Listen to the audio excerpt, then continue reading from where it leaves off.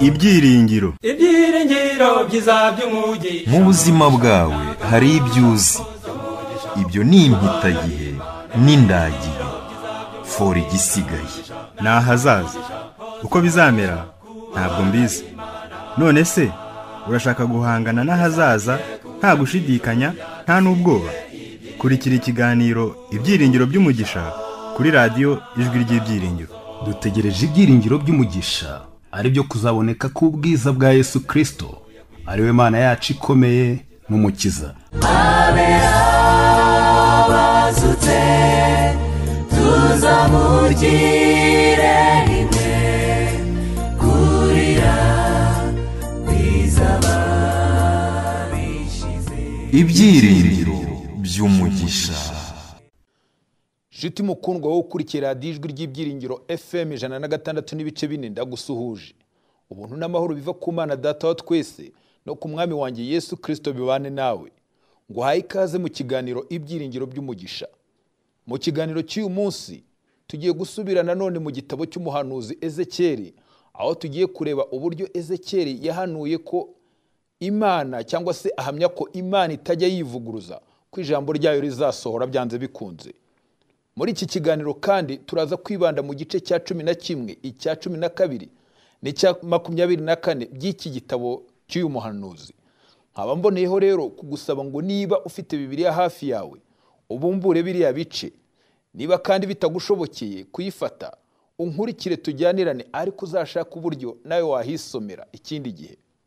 Mboneyeho kandi kukurarikira kwifatanya nanjye mu isengesho mbere y'uko dukomeza. Uri imana ikomeye imana ishobora byose kandi izi byose data wo mu ijoro izina ryawe ryubahwe. Urakoze kuba utugejeje aya magingo tukiriho njye n'umuntu wese unkurikiye aka kanya. Urakoze kandi kuba wemeye ko duhurira kuri uyu murongo w'iyi radiyo uyu munsi ngo tuganire ku ijambo ryawe. Turagusaba ngo ukomeze kutuba bugufi kandi udusobanurire ijambo ryawe. Maze tumenye ko ibyo wavuze byanze bikunze bisohora ku gihe gikwiriye. Tubisabye mu izina rya yesu. Amen. Tugira urukundo abahinduye abafite inzara abishwe n'inyota. N'abapfakazi icyaro n'abandi babaye ibimuga ziduhungira zidutakambira n'abandi bagiriwe nabi baregana ntibatuke ntibaseke bose bagarure basange yesu iyi wumva ni radiyo ijwi ry'ibyiringiro ivugira i kigali kuri fm ijana na gatandatu n'ibice bine ubu turi mu kiganiro ibyiringiro by'umugisha uyu munsi tukaba twongeye gusubira mu gitabo cy'umuhanuzi ezekeri aho tugiye kureba uburyo yahamije ko ijambo ry'imana risohora byanze bikunze wambaza utese yabitewe n'icyo ubundi. Mu gice cya cumi na kimwe ezekeri yakomeje kugaragaza imyitwarire mibi ya isiraheli nk'uko yari yabyeretswe mu gice cya munani. Ahangaha ndagira ngo nkwibutse cyangwa se nkumenyeshe ko mu gice cya munani imana yamweretse mu ibonekerwa icyaha yangwa urunuka kurusha ibindi. Iki cyaha kikaba ari icyaha cyo kubeshya icyaha cyo kwishushanya no kwigira mwiza kandi uhisha ibyaha. Iki cyaha kikaba cyarakorwaga cyane n'abakuru b'imiryango ya isiraheli aho bari basigaye basengera ibigirwamana mu ngoro y'imana y'i Yerusalemu ariko bakabikora bihishe. Ibi rero bikaba byarababaje ndetse birakaza imana cyane. Muri iri yerekwa cyangwa se ibonekerwa rishya ryo mu gice cya cumi na kimwe rero noneho ngo mwuka w'imana yamujyanye ku irembo ry'iburasirazuba bw'urusengero rw'uhoraho nanone i Yerusalemu. Aha hantu ngo yahabonye abantu makumyabiri na batanu. Aba bakaba bari ibikomangoma by'i Buyuda cyangwa se abayobozi ba gisivire nk'uko tubibona ku murongo wa mbere. Muri aba bantu ezekeri akaba yarabashije kumenyamo babiri uwitwaga yazaniya mwene azuri na peratiya mwene benaya. Muri iri yerekwa mwuka yabwiye ezekeri ko bariya bantu bagamije gukora ibibi no gutanga inama mbi muri uriya mujyi izi nama mbi zikaba ari uko abayobozi b'i Yerusalemu birengagije imiburo y'umuhanuzi Yeremiya. Wari warabahanuriye ko uriya mujyi uzarimbuka maze aho kugira ngo babyiteho ahubwo bo bikomereza gahunda zabo z'iterambere n'imishinga yo kubaka uriya mujyi wari waraciriweho urubanza rwo kurimbuka. Kiriya gihe abayuda bari barayobejwe n'abahanuzi b'ibinyoma bityo bituma banga kwemera ko imana ishobora kwemera ko urusengero rwayo icumbi ryayo ku isi rishobora kugabizwa abapagani. Ruriya rusengero barufataga nk'ikintu gifite imbaraga zo kurinda umujyi wa yerusalemu ndetse n'abawutuye. Nyamara mbere y'uko ubwo umuhanuzi yeremiya yari agitangira umurimo we wa gihanuzi yari yarabihanangirije. Ababwira amagambo tubona mu gitabo cye igice cya karindwi umurongo wa kane ati ntimukiringire ibinyoma ngo muvuge muti iyi ni ingoro y'uhoraho ingoro y'uhoraho ingoro y'uhoraho. Inama yabahaye ahikuye kuhoraho iboneka ku murongo wa gatatu aho yababwiye ati nimutunganye imigenzereze n'imikorere yanyu bityo nzabareka muture muri iki gihugu. Ziriya nama ndetse n'imiburo imana yagejeje ku bayuda ibinyujije ku muhanuzi yeremiya ntabwo bigeze babyitaho. Ku buryo ubwo byari bigeze mu mwaka wa magana atanu mirongo icyenda na rimwe mbere ya kirisito iki gihe bakaba bari bamaze kugabwaho ibitero bikomeye birenga bibiri by'abanyababuroni byatwaye abantu benshi bunyagano. Abayuda basigaye i yerusalemu bumvaga bari mu mutekano usesuye muri uriya mujyi ezekeri ku murongo wa gatatu w'igice cya cumi na kimwe atubwira ko abayobozi baho ba gisivire bavugaga bati uyu mujyi ni nk'inkono iteka. Naho twebwe abawurimo turi nk'inyama. Nk'uko inyama ziri mu isafuriya ziba ziri mu mutekano zarinzwe guhura n'umuriro ngo utazangiza uzitwika. Niko n'abayobozi ba gisivire b'abayuda bumvaga bari mu mutekano usesuye. Nta kibi cyabageraho mu mujyi wabo wa yerusalemu. Nuko abayobozi bikomereje ibikorwa byabo byo kubaka. Nk'uko bisanzwe kugira ngo basohoze igikorwa cyo gusana uriya mujyi nyuma y'uko umwami nebukadinezari w'i baburoni awugabyeho igitero ku ngoma y'umwami yehoyakini. Kikawusenya ndetse kigatwara abantu benshi ho abanyagano barimo n'umuhanuzi ezekeri ibyo bibaye hakaba hari hashize imyaka itandatu gusa ariko abantu basa n'aho bari barabyibagiwe. Abantu burya ngo bibagirwa vuba. Kubera rero iriya myitwarire cyangwa se imyifatire yabo yo kwibagirwa imana imana yabwiye ezekeri ngo abahanurire ababwire ibigiye kuzababaho. Ntabwo yerusalemu yari kuzababera ubwihisho bazahungiramo nk'uko babyibwiraga. Imana yaravuze ku murongo wa cumi n'umwe na cumi na kabiri iti uyu mujyi ntuzababera nk'inkono iteka namwe ntimuzaba nk'inyama ziwurimo kuko nzabahanira mu gihugu cyanyu. Muzamenya kandi ko nduhoraho.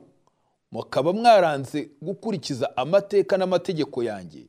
Nyamara mukigana imigenzo y'amahanga abakikije. Yesu yigisha nziza yaduhaye ko tujya dukunda abanzi bacu bose kubabarirana. Nabo baduhemukiye tujye dushima ibiza badukore duhemuke ku bandi. Yesu twese tuzabibone ibihembo bizagarutse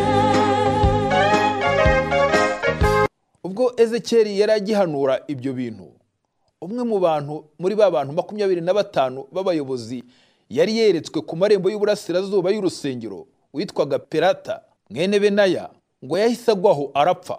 Ibyo byahise bitera ubwoba uriya muhanuzi akuka umutima yibwira ko n'abandi bose bagiye guhita barimbuka ako kanya. Nk'uko tubibona ku murongo wa cumi na gatatu nuko niko guhita yikubita hasi yubamye. Arangurura ijwi ati nyagasani uhoraho mbese ugiye gutsemba abisiraheli bose basigaye? Mu yandi magambo ezekeri yarikanze abonye ukuntu imana idakinishwa. Agira ubwoba ko irimbuye abantu nk'uko yari imaze kubimubwira. Yibwiraga ko ihise ishyira mu bikorwa ibyo yari imaze kumutuma. Ku bantu b'i Yerusalemu. Iby'iririmbuka rya Yerusalemu rikaba mu by'ukuri ryibandwaho kuva mu gice cya cumi na kabiri kugeza mu cya makumyabiri na kane. Mu mugabane ubanza w'igice cya cumi na kabiri ezekeri yasabwe gukina cyangwa se gutanga imfashanyigisho yo kujya mu bunyage. Ku murongo wa kabiri hatubwira ko abagombaga kumutega amatwi batagombaga gusa kumva amagambo ye ahubwo bagombaga no kumubona ashyira mu bikorwa ibyo avuze. Muri uku gukina iyi mfashanyigisho cyangwa se ikinamico imana yiringiraga ko ahari yenda bariya bantu nibaramuka bahurije hamwe kumva no kureba ibyo ezekera agiye kuvuga no gukora bizarushaho kubacengeramo dore ko bari barinangiye maze bibafashe kumva neza ibihe Yerusalemu yari irimo. Umurongo wa gatatu tubwira ko muri iyo mfashanyigisho y'umukino ezekeri yagombaga guhambira ibintu bye nk'ujyanyweho umunyago ni ukuvuga ko muri biriya bintu yagombaga gushyiramo ibyo kurya agashyiramo ibyo kwiyorosa ndetse agashyiramo n'ibikoresho bike byo gutekeramo no kuriraho bishobotse. Muri make yari kugenda nk'umuntu wimuwe ku gahato kandi atiteguye neza cyangwa se nk'impunzi. Ibi kandi yagombaga kubikora ku manywa y'ihangu abantu bose bamubona. Muri iyo mfashanyigisho kandi imana yamubwiye gufata uwo mutwaro we akawushyira ku muryango w'inzu ye kugira ngo nyine abantu bawubone. Hanyuma ku mugoroba yagombaga kuwufata akagenda nk'ujyanyweho umunyago maze iramubwira ngo agende ace icyuho cyangwa se acukure umwenge munini mu rukuta rwari ruzengurutse umujyi hanyuma acengeremo ahite we n'umutwaro we. Ikindi kandi imana yamubwiye ko agomba kugenda yipfutse mu maso kugira ngo atareba aho ajya. Muri iki gikorwa cy'imfashanyigisho imana yaramubwiye ku murongo wa gatandatu iti nkugize ikimenyetso cy'ibizabaho ku bisiraheli. Muri make yari agiye gukina cyangwa se kwerekana ibizabaho ku bisiraheli abishyize mu bikorwa. Muri iyi mfashanyigisho kandi imana yaramubwiye iti ku munsi ukurikira nibakubaza ibyo wari urimo ku mugoroba bakakubaza icyo bisobanura uzababwire ko iriya mfashanyigisho igenewe umwami w'i Yeruzalemu n'abisiraheli bose bahatuye. Uwo ni umurongo wa cumi ubivuga muri make imana yari irimo yerekana hakiri kare ko umwami sedekiya hamwe n'abisiraheli benshi bagombaga kuva muri Yerusalemu bakanyura mu cyanzu giciye mu rukuta rw'umujyi bagerageza gucika ingabo z'i Babuloni zije kuhigarurira. Iyi nkuru tuyibona mu gitabo cya kabiri cy'abami igice cya makumyabiri na gatanu umurongo wa kane. Aho batubwira uburyo ingabo z'abanyababuloni zateye Yerusalemu zikayigota imyaka cumi n'umwe yose abantu inzara ikabica. Maze umwami sedekiya n'ingabo ze bakagerageza gucika. Ariko bakaza gufatwa. Muri ya mfashanyigisho ya ezekeri kandi imana yamubwiye ko agomba gukina yerekana ukuntu ubwoba buzataha abaturage bose ba Yerusalemu mu gihe izaba yatewe. Ku murongo wa cumi na karindwi kugeza uwa makumyabiri yabwiwe kurya ibyo kurya bye ahinda umushyitsi ndetse ngo anywe n'amazi ye cyangwa se yari yitwaje adagadwa cyangwa se atitira. Abantu b'i Yerusalemu bitegereje ezekeri ukuntu yimenaho amazi. Arimo atitira agerageza kuyanywa. Ndetse babona n'ukuntu umugati umuvungukira ku munwa kubera guhinda umushyitsi agerageza kuwutamira. Ibi byose bikaba byarashushanyaga ukuntu bazicwa n'ubwoba ubwo baburoni izaba yabateye. Nk'uko bibiri itubwira ngo muri uko kwitegereza ezekeri akora iyo mfashanyigisho iteye ubwoba ngo aba bantu ntibiyumvishaga ko ibintu nk'ibyo byaba ku gihugu cyabo muri icyo gihe cyabo. Umurongo wa makumyabiri na kabiri w'iki gice cya cumi na kabiri cya ezekeri utubwira ko ngo biremye agatima bakerensa iyo nyigisho baravuga bati igihe kirahita ikindi kigataha nyamara ntabonekerwa na rimwe risohozwa. Muri make barabisetse baravuga bati aho bahereye bavuga ngo ubuhanuzi buzasohora. Ko nta kintu na kimwe kiraba. Byari byarabaye nk'umugani. Nyamara nubwo bakiresheje iyo mfashanyigisho y'umuburo imana yategetse umuvugizi wayo ezekeri kubamenyesha ko igiye gushyira iherezo kuri uwo mugani. Ni uko kuva ku murongo wa makumyabiri na gatatu kugeza makumyabiri na gatanu iramubwira iti genda ubabwire uti nyagasani uhoraho agiye gukuraho uwo mugani. Ntuzongera gucibwa ukundi mu isiraheli. Ahubwo ubabwire uti igihe kiregereje ngo ibonekerwa ryose risohozwe. Koko rero ibonekerwa ry'ibinyoma n'ubuhanuzi bushukana ntibizongera kubaho mu bisiraheli. Nyamara jye uhoraho nzavuga ibyo nshaka maze bisohozwe bidatinze kuko mu gihe cyanyu mwabyigomeke mwe nzasohoza ibyo navuze. Uko niko nyagasani uhoraho avuze.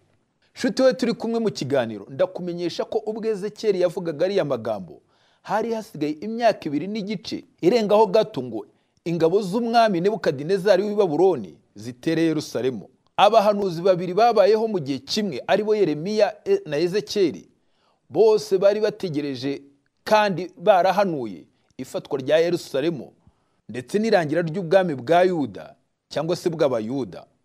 Igitabo cy'umuhanuzi yeremiya mu gice cya mirongo itanu na kimwe umurongo wa mirongo itanu n'icyenda hatubwira ko umwami w'abayuda sedekiya mu myaka ine ku ngoma ye yagiye ajya i babuloni gutsura umubano kwereka umwami waho nebukadinezari wasaga n'utegeka isi yose icyo gihe ngo amukeze amwereke ko yamuyobotse. Ariko ibyo ntacyo byamumariye. Ntibyigeze bimwongerera imbaraga muri politiki ndetse nta n'ubwo yabashije kwemeza nebukadinezari ko koko yamuyobotse. Yesu inyigisho nziza yaduhaye ko tujya dukunda abanzi bacu bose kubabarirana nabo baduhemukiye tujye dushima ibyiza badukore duhemuke ku bandi bibwire yesu. Mbese tuzabibonera ibihembo bisagarutse abayuda bikomereje kwibwira ko ibyago cyangwa se ibibi bitabageraho nk'uko kamere muntu ariko iteye. Abantu bakunda kuvuga bati reka ibyo ntibyabaho. Imana ntabwo yabyemera. N'ibindi byinshi byo kwirema agatima. Birashoboka ko ababyeyi ba hariya bari baracengeje iyi myumvire mu bana babo bahereye ku buryo babareraga. Birashoboka ko ababyeyi baho bajyaga babwira abana babo bati nuramuka ukoze kiriya kintu. Nakubujije. Ndagukubita. Nuko abana babirengaho bagakora ibyo ba- babujijwe. Maze ababyeyi ntibabahane nk'uko bari babivuze cyangwa se nk'uko babaga bamaze kubivuga. Abahanga bemeza ko iyo umwana atabonye ingaruka yari yiteze kubona bitewe n'amakosa ye ibi bituma ashaka kongera agasubira mu makosa kuko aba yarabonye ko ababyeyi be ari ugukangata gusa. Nubwo rimwe na rimwe baba ba- baretse cyangwa se bagatinda kumuhana kubw'impamvu runaka ariko umwana siko abibona ndetse n'abakora ibyaha byo kwica amategeko y'igihugu nabo niko bakora. Iyo babonye nta gihano kibayeho kenshi bumva bakwikomereza cyangwa se hakavuka abandi banyabyaha bashya kuko baba babona aba mbere ntacyo byabatwaye. Nshuti yanjye rero ndakumenyesha ko ku mana atari ko bimeze. Imana ntijya ihindura ibyo yavuze.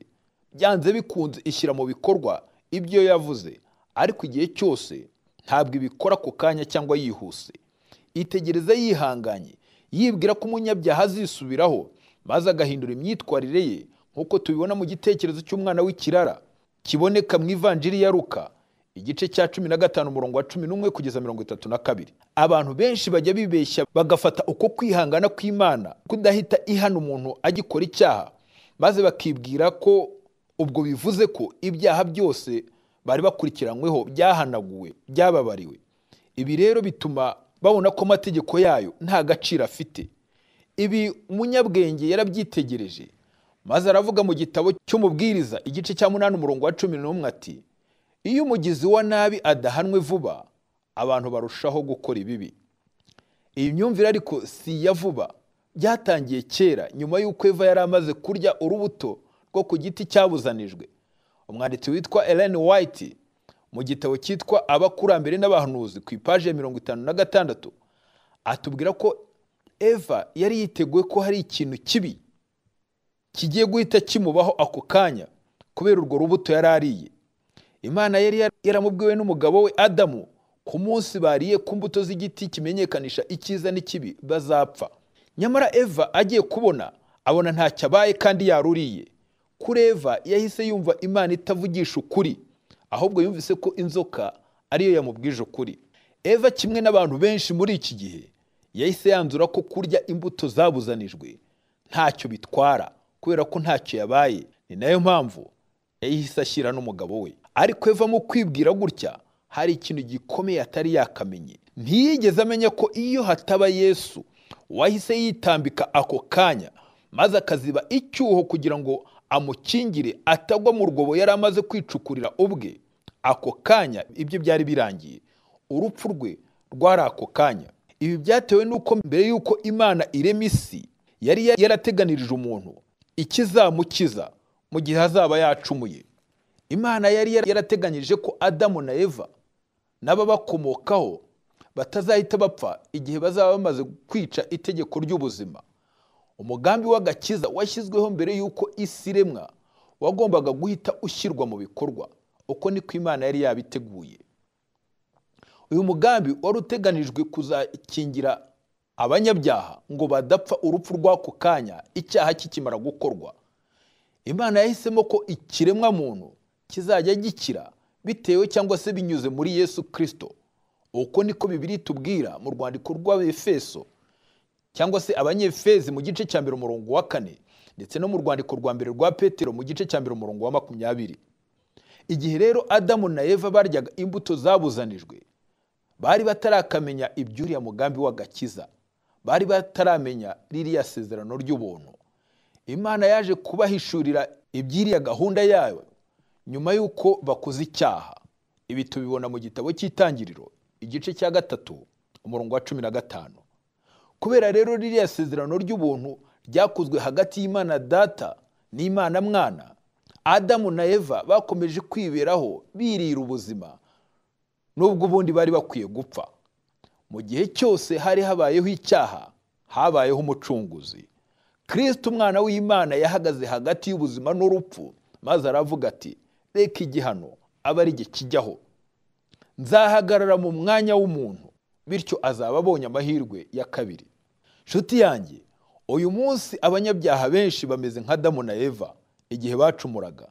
Ntabwo bazi ko ubuzima bwabo bwabungabunzwe ntibapfe kubera igitambo cya kirisito imana yashyizeho ririya sezerano ry'ubuntu kugira ngo adamu na eva babone amahirwe yo kwihana no guhinduka guhindura imyitwarire yabo imbere yayo. Uyu mugambi kandi n'uyu munsi uracyafite agaciro ukaba ari wo utuma abantu bakomeza kubaho ntibapfe. Baba ari abanyabyaha cyangwa se ari abakiranutsi. Imana iba ishaka ko umuntu ahinduka akareka ibibi. Ibibi rero byari bigiye kuba ku mujyi wa yerusalemu n'abaturage bawo. Byari kuba bitewe n'ibibi byabo ubwabo. Ntabwo byari kuba biturutse ku bushake ndetse na gahunda y'imana.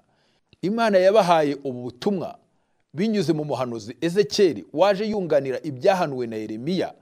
Ibi ikaba yarabikoze kugira ngo ibashishe abayuda ngo bakire batarimbuka hamwe n'umujyi wa yerusalemu.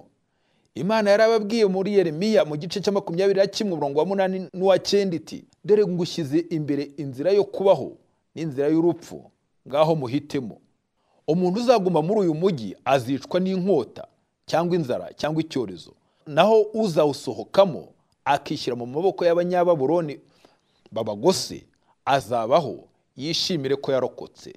Ntabwo imana yashakaga ko bariya abantu barimbuka ndetse nta n'ubwo yashakaga ko n'uriya mujyi usenywa yashakaga ko byose bikira. Ariko kubera kwinangira kwabo nta kindi yari kubikoraho. Ubwo hari hashize hafi imyaka ibiri n'igice ezekeri ahanuye ihirima rya yerusalemu mu gice cya cumi na kabiri ku munsi umwe wo mu kwezi kwa mutarama muri magana atanu na mirongo inani n'umunani imbere ya kirisito aka yerusalemu karashobotse. Ubuhanuzi bwa ezekeri na yeremiya abayuda bakerensaga bavuga ko ntacyo buzatanga bwarasohoye. Ingabo za nebukadinezari zateye uriya mujyi nubwo byari byaratinze bikavugwa imyaka myinshi mu maso y'abayuda byasohoye ku gihe gikwiriye cy'imana. Inkono ziteka yerusalemu yari yarigotesheje ndetse n'inyama zari zirimo zarashiririye zirangirika kuko abaturage bose batwitswe barakongoka. N'agahinda kenshi imana yaravuze muri ezekeri igice cya makumyabiri na kane umurongo wa cumi na gatatu yerusalemu we ukwiyandarika kwawe kwaraguhumanije. Nagerageje kugumanura nyamara ntiwabishatse. Bityo rero ntuteze guhumanuka kugeza ubwo nzakumariraho uburakari bwanjye. Nshuti we twahuriye ku murongo w'ibyiringiro fm ijana na gatandatu n'ibice bine.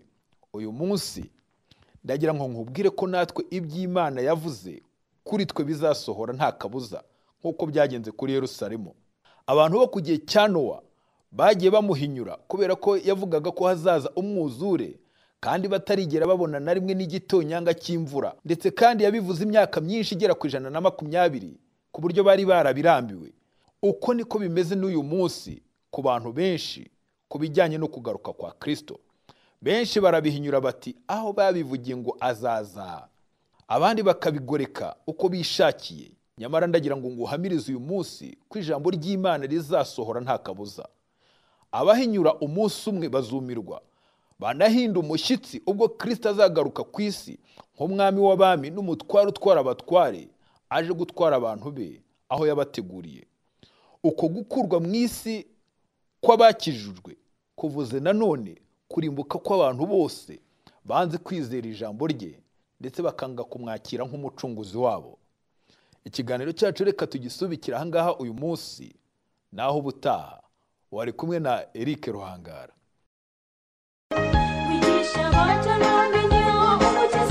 Umukiza. Umukiza, umukiza,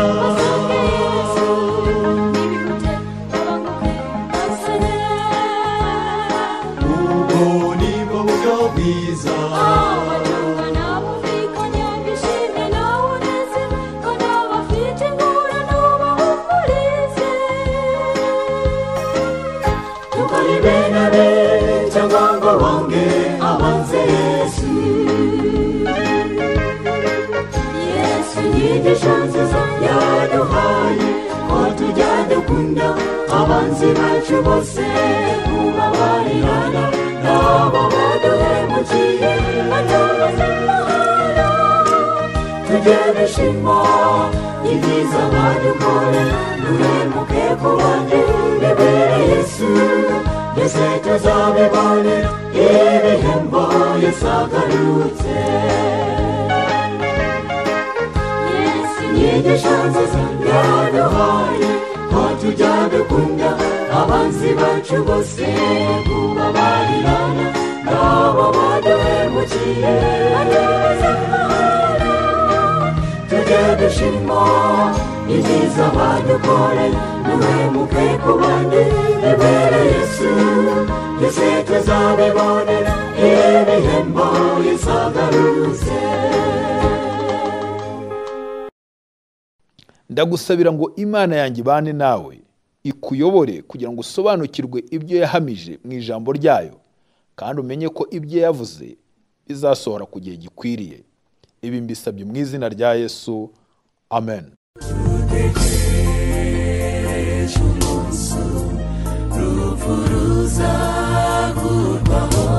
Ibyiringiro. Ibyiringiro byiza by'umugisha mu buzima bwawe hari ibyo uzi ibyo ni impitagihe n'indagihe fora igisigaye ni ahazaza. Uko bizamera ntabwo mbizi. None se urashaka guhangana n'ahazaza? Nta gushidikanya nta n'ubwoba. Kurikira ikiganiro ibyiringiro by'umugisha kuri radiyo ijwi ry'ibyiringiro. Dutegereje ibyiringiro by'umugisha ari byo kuzaboneka k'ubwiza bwa yesu kirisito ari we mana yacu ikomeye n'umukiza. Bazutse tuzamugire rimwe kurira bizaba bishize ibyiringiro by'umugisha.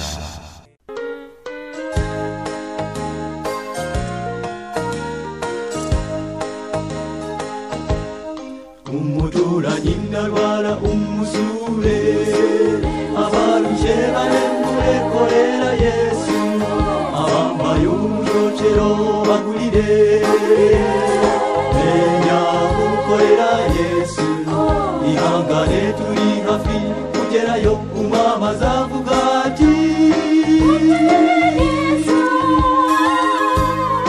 ingororano tuzayihoba tugezi wacu.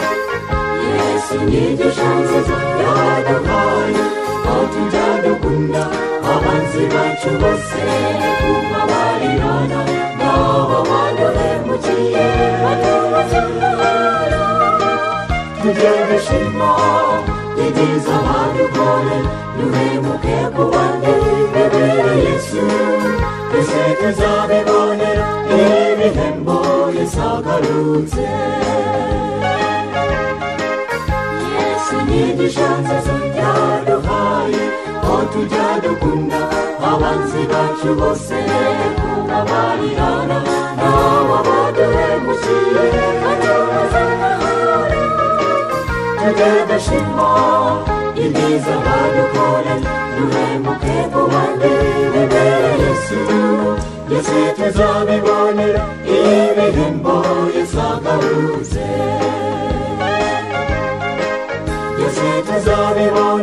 예배 행보에 서가루제